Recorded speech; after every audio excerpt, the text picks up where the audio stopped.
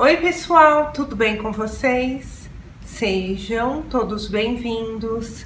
Hoje eu tô aqui para contar quais foram os meus perfumes favoritos de maio. Espero que vocês gostem.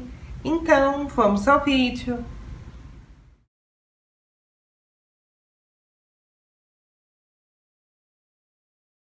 No mês de maio fez bastante frio em São Paulo, mas também a temperatura ficou um pouco mais alta em alguns dias, ou seja, eu consegui usar tanto perfumes mais marcantes e encorpados, como perfumes mais frescos e leves.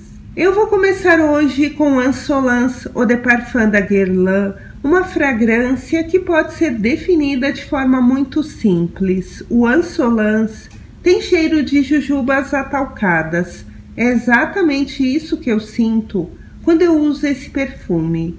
Comparando o Eau de Toilette com esse daqui, o Eau de Parfum, dá para notar algumas diferenças entre eles. O Eau de Parfum é menos doce e tem a nota de violeta mais evidente. Eu prefiro o Eau de Parfum, acho esse perfume mais equilibrado e fácil de usar até porque ele não projeta tanto quanto o de toilette e ainda assim ele fixa muito na minha pele.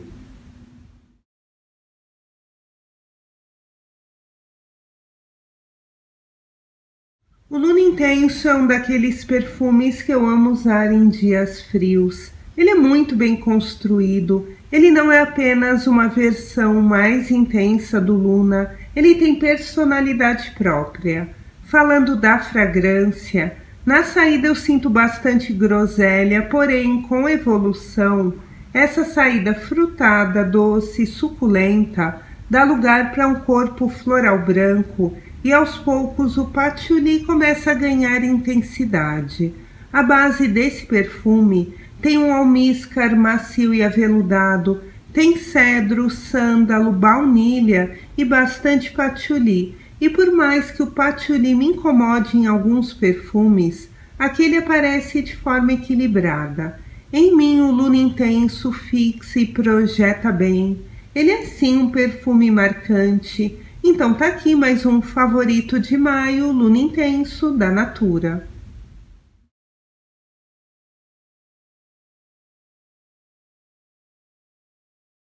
Acho que é a primeira vez que eu falo do Sintense aqui no canal, mesmo gostando muito desse perfume. Eu gosto muito mais do Intense do que do Eau de Parfum.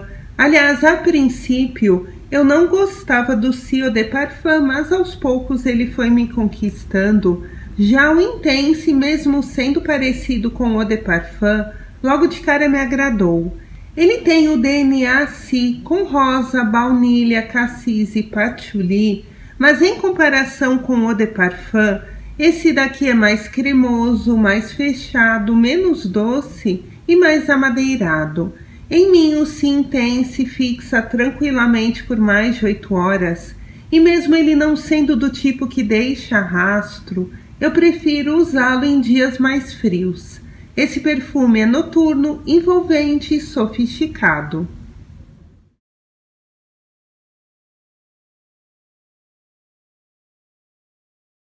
Também é a primeira vez que eu falo do L'Ecstasy, ou melhor, L'Extase Caresse de Rose da Nina Ricci. Esse perfume andou meio encostado por um tempo, mas agora em maio eu resolvi voltar a usá-lo. O meu frasco é o de 30 ml. Quem tem frascos maiores dele vai notar que eles têm um detalhe dourado que esse daqui não tem. Enfim, o Caresse de Rose é um floral adocicado onde se destacam a rosa e a peônia, além de um almíscar limpo e um toque de pera que fica mais evidente na saída. Esse perfume fixa em mim por umas sete horas com projeção moderada. Ele é super agradável, ele é perfeito para ser usado no trabalho, para ser usado no dia a dia, mas ele tem também uma certa elegância que combina com ocasiões formais.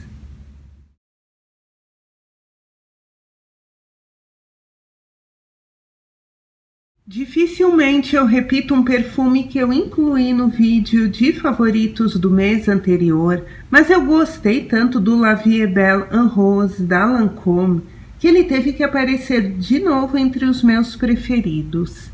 Esse perfume combina um acorde frutado de framboesa e bagas vermelhas com rosas, além de um toque de patchouli e de sândalo e também almíscar e ele tem ainda na composição lírio do vale, peônia e íris.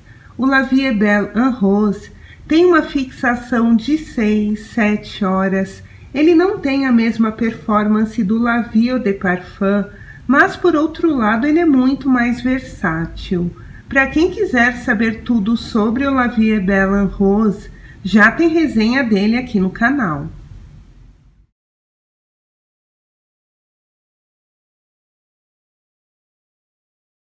O Gucci Bloom Aqua di Fiore é uma das novidades da minha coleção e desde que eu testei esse perfume numa loja, eu fiquei encantada com a delicadeza dele. O Gucci Bloom Aqua di Fiore é um floral verde com leve toque assabonetado. Ele me lembra um buquê de flores brancas mesclado com cheiro de grama molhada. Na minha pele ele fixa por umas 6, 7 horas e não exala muito. Esse é um perfume para o dia a dia. Ele não sufoca ninguém, muito pelo contrário. O Gucci Bloom Aqua di Fiore tem uma leveza que o torna muito versátil e fácil de usar. E mais um detalhe: esse perfume é perfeitamente compartilhável.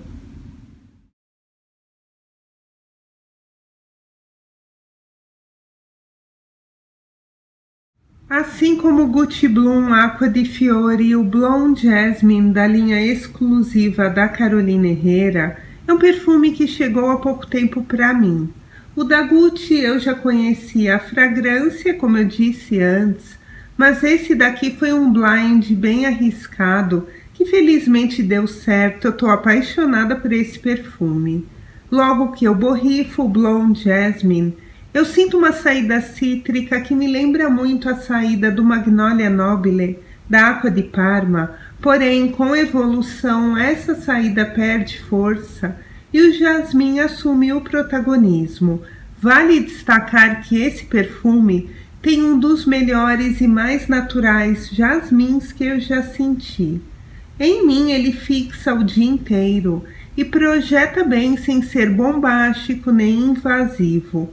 O Blonde Jasmine é um perfume equilibrado, versátil e muito elegante.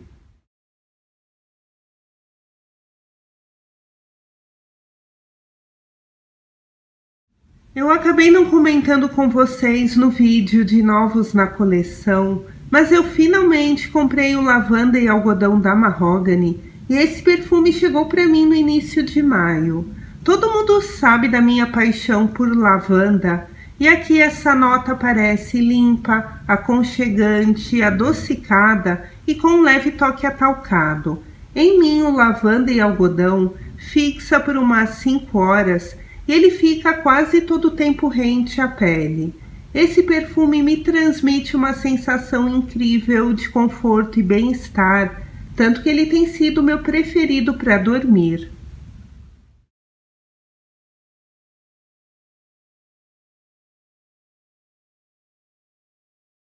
Com o tempo é normal que a gente mude, e é claro que mudem também nossos perfumes favoritos.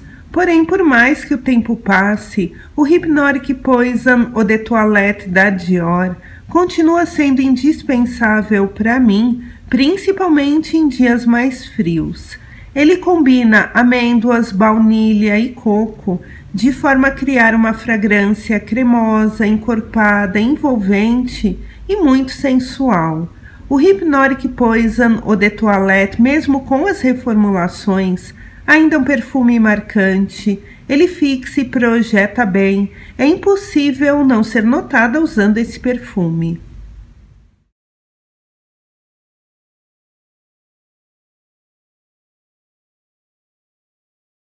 É só esfriar um pouco que eu já volto a usar o Fève Delicieux da linha exclusiva da Dior.